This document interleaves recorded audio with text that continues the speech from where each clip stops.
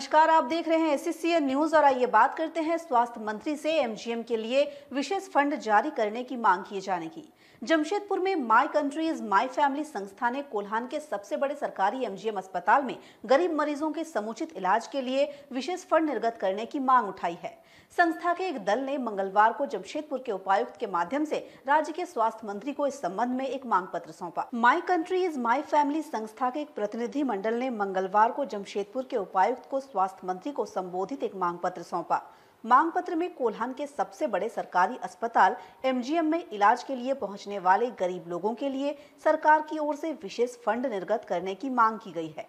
इस दौरान संस्था के अध्यक्ष मोहम्मद शमीम ने कहा कि पूरे ज़िले के गरीब तबके के लोग सरकार पर भरोसा रखकर एमजीएम अस्पताल इलाज कराने पहुँचते हैं। लेकिन अस्पताल में अधिकतर बड़े टेस्ट या दवाइयाँ बाहर से लाने को कहा जाता है। गरीब व्यक्ति के पास इतने पैसे नहीं होते कि वे बाहर से टेस्ट करा सके या महँगी दवाइयाँ खरीद पाए।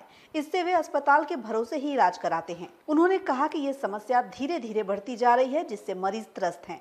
उन्होंने कहा कि राज्य सरकार हर दिशा में बेहतर काम कर रही है। इस कारण उन्हें एमजीएम अस्पताल की व्यवस्था पर भी ध्यान देते हुए अस्पताल को ऐसे मरीजों की चिकित्सा के लिए विशेष फंड की व्यवस्था करनी चाहिए, ताकि गरीब मरीजों का भी पूरा इलाज संभव हो सके। सरकारी हॉस्पिटल एमजीएम में विशेष फंड की व्यवस्था की मांग के लिए स्वास्थ्य मंत्री श्री बन्ना गुप्ता को उपायुक्त के माध्यम से पत्र लिखा है। हमारी यही मांग है कि जो गरीब तबके लोग, जैसे डेली कमाने खाने वाले जब सरकारी हॉस्पिटल में जाते हैं तो विश्वास के साथ जाते हैं कि सरकार उनके साथ है।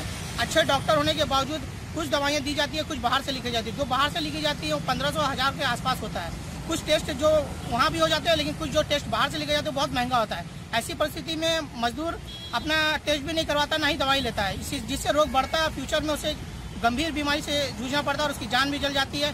तो हम चाहते हैं कि छोटी छोटी चीज़ को सरकार तक रखे और सरकार का ध्यान दिलाए और सरकार अच्छी सरकार है और उनका प्रयत्न है कि वो अच्छा झारखंड के लिए करे। तो हम उम्मीद करते हैं, अपने झारखंड के स्वास्थ्य मंत्री से जिस तरह उन्होंने रिम्स में एक अच्छी पहल की है, विशेष फंड की व्यवस्था की है, एमजीएम में भी विशेष फंड की व्यवस्था करें। दिन भर के तमाम अपडेट्स के लिए बने रहे हमारे साथ फेसबुक और यूट्यूब पर। साथ ही हमारे चैनल को लाइक, सब्सक्राइब और शेयर करना ना भूलें।